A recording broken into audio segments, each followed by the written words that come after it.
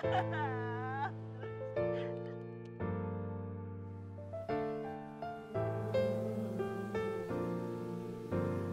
zie je niet, ik voel je niet.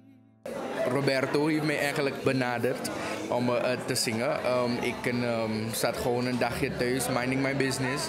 En um, ik kreeg een, telefoontje van Roberto van... Hey, ik heb een lied geschreven voor Suripop, wil je meedoen? En ik dacht, ik, nou ja...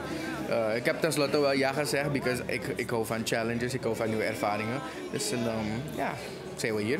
Niemand ziet en niemand weet wat ik voel. Me promise you, me should I mean?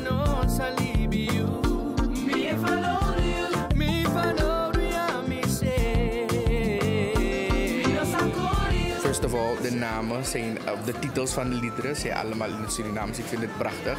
Uh, uh, het, is, het, zegt veel van Suripop, you know, meer Surinaams. En ook de meeste van de liederen zijn in Surinaams, een beetje Nederlands. Maar ik hou echt dat het ons als land representeert. You know. in, in al de songs komt er een element voor van Suriname. Ik hou maar vast en geloof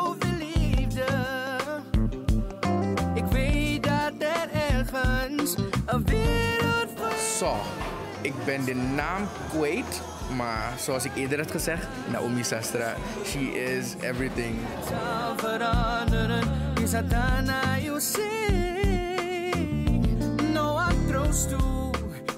Ik ben geen minuut veranderd. De afstand maakt voor mij niet uit. En ik draag nog steeds de laag die jij meegaat.